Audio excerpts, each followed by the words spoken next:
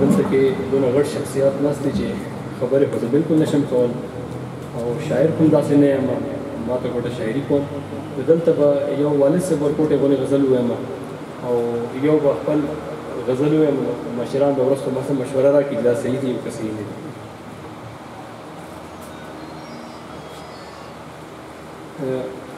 والد صاحب یو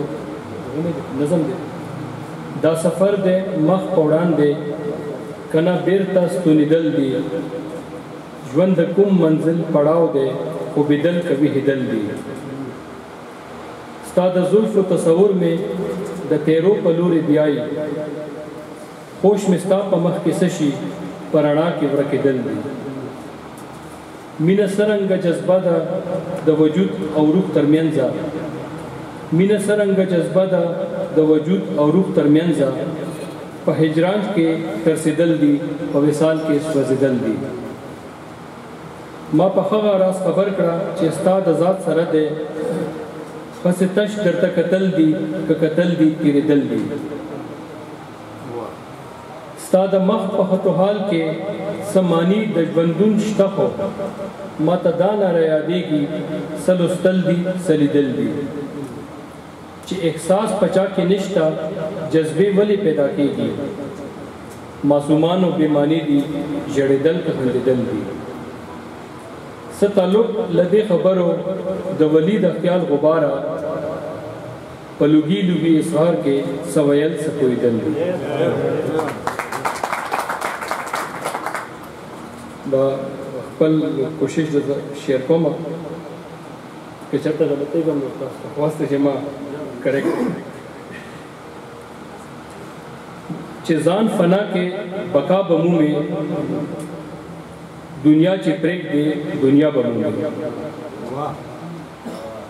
نه عبادت نه په دولت دی نه عبادت نه په دولت دی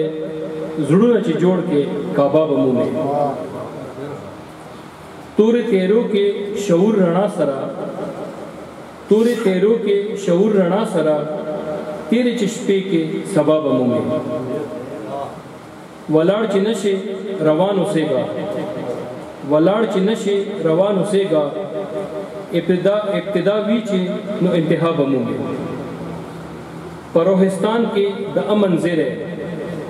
په روحستان کې د امن زیری بې د پښتو نه پچا به مومي رشتین شو ستړی په چغو چغو رشتین شو ستړی په چغو چغو ولی په لیک کې رڼا به مومې